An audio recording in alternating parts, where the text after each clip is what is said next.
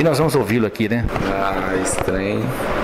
Tem gente fez cabeça quente, né? Então, só depois dos, do que a gente fez que a gente dá pra, pra ver o que, o que que tá acontecendo, né? Você estava onde, Vinícius? Como é que foi? Você estava em casa, tá- saiu? Como é que encontrou com ele? Onde? É, Eu tava em casa na hora, peguei de cabeça, saí pra rua, saí, trombei ele, trombei ele. Primeira coisa que veio na mente é clicar nele, deu um branco, cliquei nele. Pois é, mas quando saiu de casa, você já saiu pensando em encontrar com ele e meter bala nele? Ah, não, não saí pensando em meter bala ali não, né? Saía pra, só pra sair mesmo, só pra rolé mesmo. Mas aí veio no, no momento ruim, na hora ruim, hora que você viu o cara e o sangue taiu na hora. na hora. Pois é, mas o que, que ele fez de- com- contra você, Vinícius, de tão pesado assim que você viu e ficou, ficou bolado? Ah, o cara não é boa pinta não, né? O cara é safado, então não pode dar mole não. Tá, mas ele, ele é safado porque pilantrou droga sua, pegou sua. Ele pe- pedipanou, o que, que aconteceu? Ah, isso tem muito desembolo, É, né? muito desembolo. Ele tem quantos anos? Não sei te falar direito não.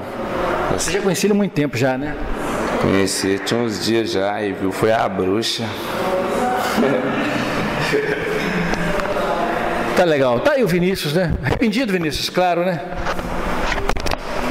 Aí, agora me fala uma coisa, Vinícius, você está arrependido depois de tudo? Eu percebo que você, depois que a coisa aconteceu, a poeira baixou, eu percebo que você está um pouco calado aqui no Corró. Você está calado por qual motivo? Está arrependido ou você é, viu besteira que fez? Ou... Enfim, o que, que passa pela sua cabeça? Tô calado, porque eu vacilei. Se eu não tivesse vacilado, eu não teria, não teria dado ruim. Ah, tá. Porque você vacilou então. Se tivesse pensado- pensado de 1 até 10, não teria feito isso. É, não tinha acontecido isso aí. Tá, e agora, é, e daqui para frente, Vinícius, como é que fica? Ele certamente vai ficar de boa, vai voltar à vida normal. E você levanta a bandeira branca, tranquilo, e espera ficar por isso mesmo?